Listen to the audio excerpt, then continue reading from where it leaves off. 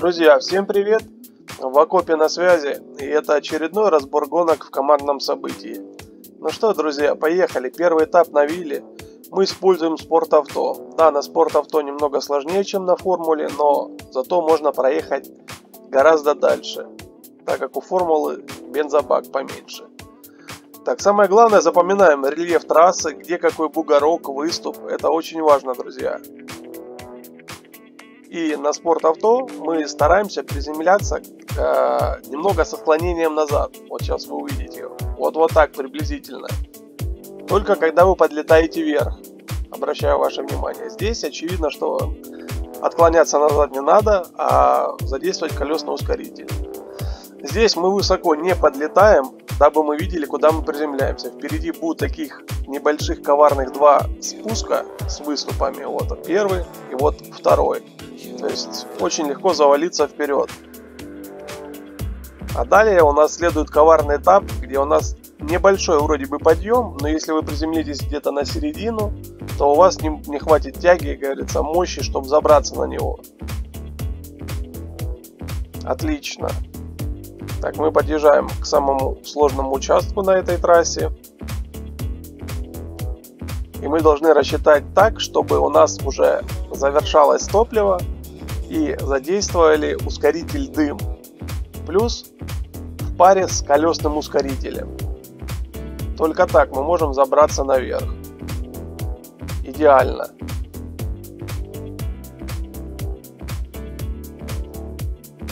Двигаемся дальше. Вилли на формуле Здесь гораздо проще, да, чем на спортавто. Э, формула так не заваливается, но на формуле, как я ранее говорил, э, меньше бензобак, поэтому тут нужно стараться побыстрее проехать, но даже если вы очень будете быстро ехать, вы все равно не сможете так далеко проехать, как на спортавто. Сбиваем спойлер, сбиваем передок, это обязательно. Постарайтесь не убиться. И такое бывало. Да, обязательно читайте подсказки, которые я пишу. Они вам реально помогут. На формуле принцип э, приземления немного отличается, чем на спорт-авто. Нужно приземляться немного наоборот, с наклоном вперед. Вот вот так. То есть не сильно назад, формула очень легко падает назад, Поэтому старайтесь немного наклоняться вперед, ну и задействовать колесный ускоритель. Здесь я знаю уже два выступа этих, трассу я выучил, поэтому использовал крылья, пролетел вперед, потому что нужно побыстрее проходить. Вот о чем я говорил, что заваливается формула назад и быстро набирается шкала. Этот коварный участок мы тоже знаем. Нужно приземляться перед подъемом а здесь мне немного повезло. Сильно опустил передок и чуть не завалился. Ну, в принципе, годный вариант. Можно еще, наверное, метров 10 добавить, но особо погода это не сделает. Второй этап. На втором этапе самое главное это приземляться с УПП. И, ну, естественно, правильные точки приземления выбирать. Сейчас вместе их разберем. Итак, не допускаем взрыв двигателя, ловим УПП, Здесь приземляемся немного на заднее колесо и также стараемся потом не допускать взрыв двигателя. Тут мы не разгоняемся, потому что также ловим здесь сразу УПП. И вот здесь очень серьезный момент. Нужно поймать и ускорение после взятия канистры и поймать УПП. А затем вот сделали первый взрыв двигателя. Это обязательно том месте сделать взрыв двигателя. Здесь также нужно приземлиться на спуск, чуть-чуть не долетел пару метров перед канистрой. Также ловим АПП, канистру, монеты и второй взрыв. Два взрыва, заметили, да, мы сделали. Именно в этих местах. Можно еще улучшить результат секунды на полторы, на две.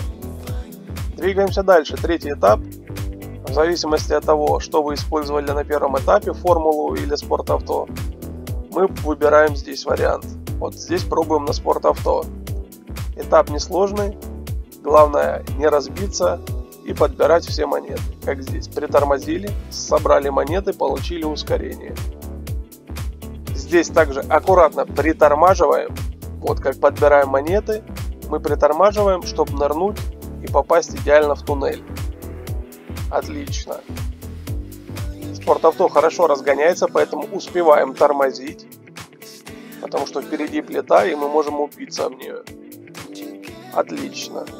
Ну и в дальнейшем все, берем канистру, получаем ускорение, плюс монеты и летим к финишу. Ничего сложного. На формуле этап в принципе не отличается от спорт авто, только здесь мы практически не тормозим. То есть газ в пол и собираем также монеты, канистру. Все то же самое. Тот же маршрут.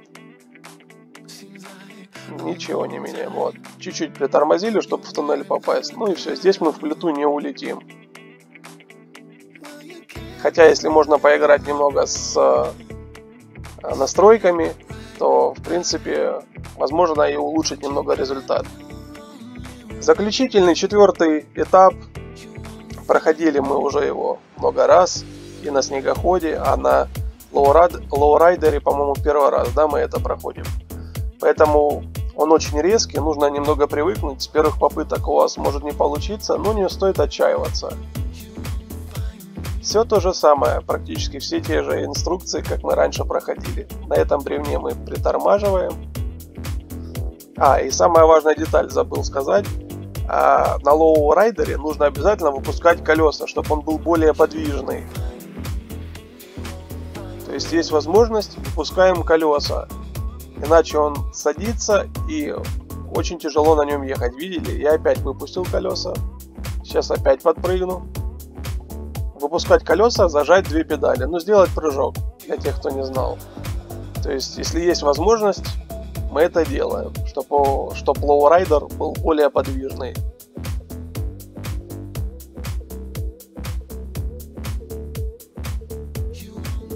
Отлично.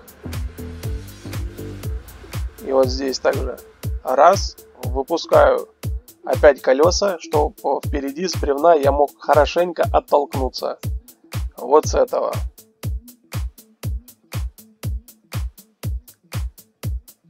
Ну, тут все очевидно. Прыжок к канистре. Здесь э, такой сложный немного момент. Нужно постараться не убиться в потолок прыгнуть. Вот мы подпрыгнули и поднимаем сразу передок машины, чтобы э, уберечь голову. И затем с бревна мы падаем вниз. Ничего страшного. И просто газуем. Здесь крылья нам помогают немного доехать. И вот тут такой момент тоже интересный. Можно было бы постоять, подождать, и пока не включится дым. Ну, пока топливо не закончится. Ну, я немного засуетился, решил уже побыстрее поехать. Ну, в принципе, я думаю, с дымом мы только пару метров сможем добавить. Друзья, на этом все. Благодарю всех за внимание, за уделенное время и за ваш просмотр. Надеюсь, мои подсказки вам хоть как-то помогут и ваш результат обязательно улучшится. Всем до новых встреч и пока. Всего хорошего!